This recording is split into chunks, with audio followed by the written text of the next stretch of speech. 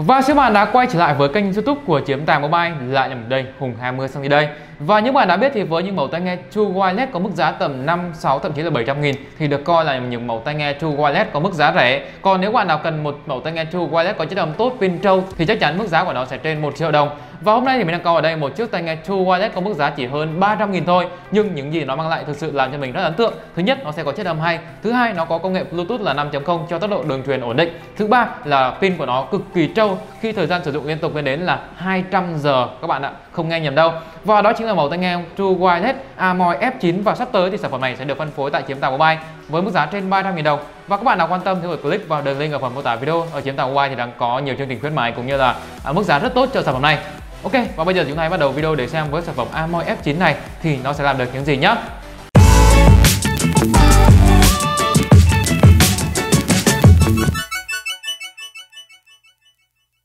Và đầu tiên thì các bạn hãy nhìn ngay vào cái hộp của chiếc Amoy F9 này thì uh, nó sẽ được là một cái hộp rất là màu sắc. Phía trước là hình ảnh sản phẩm đang được đeo vào tay của bạn mẫu này. Và chúng ta sẽ có dòng chữ là High Red Direct gì đấy.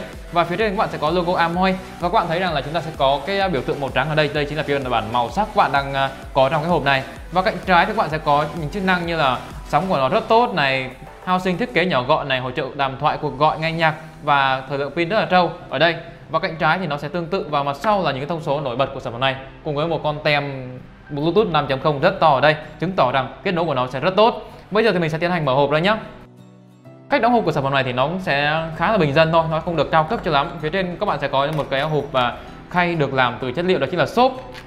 Đây, phía trên các bạn sẽ có cho mình ở đây, đó chính là hai sản phẩm tai nghe True Wireless chính đó, một thiết kế rất là nhỏ gọn và với màu trắng này mình thấy rằng là nó rất là sang trọng và nó gần giống với tai nghe phân cổ WD1 mà mình đã có review trước kia cho các bạn.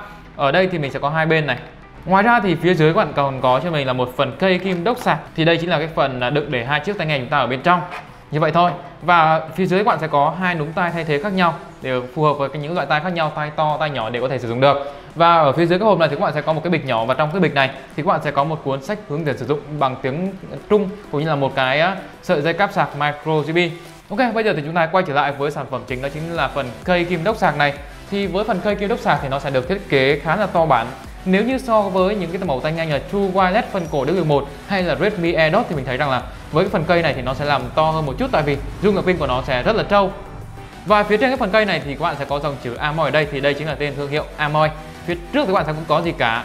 Và phía sau thì các bạn sẽ có cho mình đó chính là một cổng input micro USB cùng với đó là một cổng output USB-A thì với cái vỏ cây kim đốc sạc này mà mình hay gọi là cái cục thì nó sẽ hỗ trợ sạc nguồn ra cho những thiết bị điện thoại, tablet hay là bala bala gì đó và các bạn có thể sử dụng trong những trường hợp đặc biệt. Và phía dưới thì các bạn sẽ có những cái dòng chữ như là model sản phẩm cùng với đó là nguồn vào input của nó là 5V 1A và khi mở cái phần cây này ra mình thấy rằng là cái nắp phần cây này thì nó sẽ được làm ờ, nhựa trong suốt nhưng mà đây là nhựa màu trắng. Chính vậy thì khi các bạn đặt cái phần cây của chúng ta vào trong thì bạn có thể thấy được những cái đèn led thông báo ở đây. Và ở đây thì phía trên các bạn sẽ có bốn cái đèn led thông báo tình trạng pin à, 100, 75, 50 và 25 cùng với đó thì các bạn sẽ có hai vị trí của phần housing chính của chúng ta ở hai bên. Và hai cái phần housing này thì chúng ta đều có ký tự trái và phải nhưng mà các bạn có thể lắp trái sang phải phải sang trái một cách rất là dễ dàng và các bạn không cần quan tâm bên nào trái bên nào phải. Đó và cái phần nắp này thì nó sẽ được hít lại bằng nam châm khá là chắc chắn. Chính vì vậy khi các bạn di chuyển hay là bảo ở trong ba lô túi sách thì không sợ nó bị bung ra. Bây giờ thì mình sẽ test thử cho bạn xem là nó sẽ chắc chắn như thế nào nhá. Đây. Mình đã mình đã giật rất là mạnh nhưng thực sự nó sẽ không bay cái nắp này ra. Chính vậy thì nó sẽ đảm bảo an toàn. Các bạn sẽ không thất lạc đi. Hai cái phần housing ở bên trong. Đó, bây giờ thì mình sẽ lấy hai cái phần housing này ra và chúng ta sẽ xem xem là chất lượng của chiếc housing này nó sẽ như thế nào đây chính là hai phần housing của chúng ta và nó thiết kế theo dạng là teenager, một trong những dạng housing rất là phổ biến. Phía trên phần housing các bạn sẽ có một cái phím bấm duy nhất ở đây. Thì với cái phím này các bạn có thể là nhấn được chuyển bài hát này, tạm dừng bài hát hoặc là tăng giảm âm lượng và đặc biệt có hỗ trợ trợ lý ảo Google Assistant cũng như là Siri. Và chúng ta có thể sử dụng được trực tiếp trên cái tai nghe này. Và cách sử dụng vô cùng là đơn giản thôi, các bạn chỉ việc nhấn một lần để có thể là tạm ngừng cũng như là phát bài, hoặc nhấn hai lần để chuyển bài, và nhấn 3 lần ở bên trái hoặc bên phải để có thể là tăng giảm âm lượng cho nó phù hợp. Và nhấn giữ 3 giây để có thể là gọi trợ lý ảo Siri. Và đó chính là cách hướng dẫn sử dụng của chiếc tai nghe này. Còn về phần mặt sau của các bạn sẽ có đây là vị trí trái hoặc phải L và R và các bạn sẽ có hai chấu sạc nam châm ở đây nói chung là mình không có quá nhiều thứ để nói với phần housing này nó thiết kế chỉ đơn giản như vậy thôi Và cảm giác đeo của mình với hai tai nghe đó chính là Amoy F9 này mình thấy rằng là cảm giác đeo của nó rất tốt. Khi các bạn có chạy xe hay các bạn có tập luyện thể thao thì chắc chắn nó sẽ không bị rơi ra. Và khi mình đeo trong thời gian dài thì mình thấy rằng là hai cái tai nghe này nó cho cảm giác thoải mái hơn là khi bạn đeo với Redmi e AirDot hay là phân cổ W1. Mình rất thích ở cái điểm này. Tại vì mình là một người không thích những dạng tai nghe nhét tai in ear chính vậy thì nếu như mình đeo một cái tai nghe nào mà nó quá to hoặc là cái cảm giác đeo của nó không tốt trong thời gian dài thì nó rất dễ đau tai. Còn với tai nghe này thì mình thấy rằng là nó cho mình một cái trải nghiệm mà đeo khá là ngon và à, mình rất ưng ở chiếc tai nghe Amor F9 trong cái điểm này.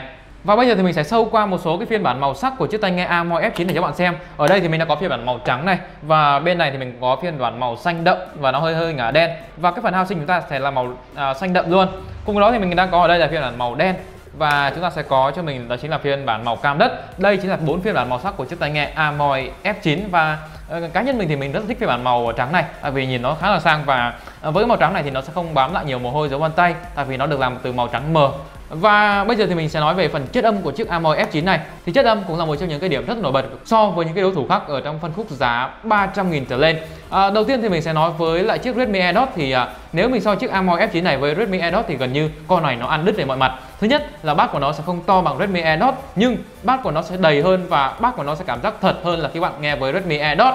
Và các giải bass track mid của nó thì nó cân bằng rất là ổn và nếu để so với tai nghe phân cổ thì cũng có một đôi chút gì đó là với chiếc Amor F9 này nó nhỉnh hơn trong cái phân khúc giá 300k thì mình thấy rằng là không có bất kỳ một cái đối thủ nào có thể so sánh được với chiếc Amoy F9 này. Kể cả các bạn có so sánh với những mức giá cao hơn như là chiếc Remark True Wireless 1 hay là Remark True Wireless 2 thì nó không thể nào so sánh được với chiếc tai nghe Amoy F9 này. Ở trong cái khoản đó chính là âm thanh và bây giờ thì mình sẽ nói đến phần kết nối của chiếc tai nghe Amor F9 này. Thì nó sẽ được trang bị cho mình công nghệ Bluetooth là 5.0 cho tốc độ đường truyền kết nối khá là ổn định. Và mình có test thử khi bạn nghe nhạc, chơi game hay là xem những cái bộ phim thì mình thấy rằng là độ trễ của nó sẽ rất là thấp. Chỉ tầm đâu đó là 0,2 giây thôi và bây giờ thì mình sẽ nói đến phần pin của chiếc tai nghe Amoi F9 này đi. Thì nó sẽ có dung lượng pin là 50 mAh cho mỗi bên housing Và có thể sử dụng liên tục lên đến là 4 đến 5 giờ. Tùy vào cái mức âm lượng các bạn sử dụng. Âm lượng to thì nghe thời gian nó sẽ ít lại, Còn âm lượng các bạn nghe bé thì thời gian nghe liên tục của nó sẽ kéo dài hơn.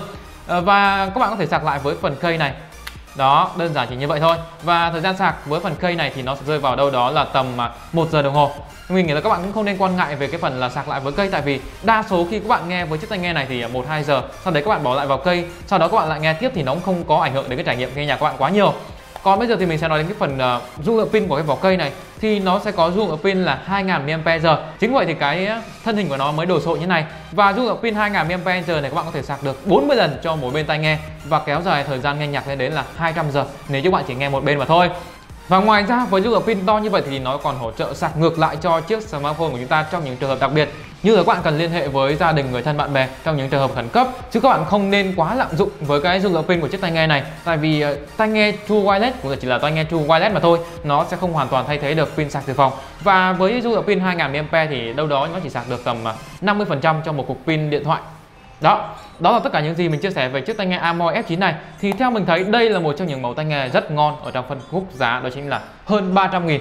Và nếu có lên ở mức giá tầm 4 500 nghìn thì mình thấy rằng đây vẫn là một trong những mẫu tai nghe có chất âm ngon, hiệu năng tốt các kết nối ổn định dễ dàng với công nghệ Bluetooth là 5.0 và ngoài ra thì còn có dung lượng pin cực kỳ trâu nữa và ngại gì các bạn không chọn với chiếc tai nghe Amor F9 này thì cá nhân mình ở trong phân khúc giá thì chắc chắn mình sẽ chọn chiếc Amor F9 còn các bạn các bạn nghĩ gì về chiếc tai nghe Amor F9 này, thì đừng quên để lại cho mình một ý kiến bình luận ở dưới phần mô tả video nhé còn nếu các bạn muốn mua chiếc tai nghe Amor F9 này thì tại chiếm tàu mobile đang có mức giá rất tốt. Các bạn có thể click vào đường link ở phần mô tả video để biết thêm thông tin chi tiết về sản phẩm này nhé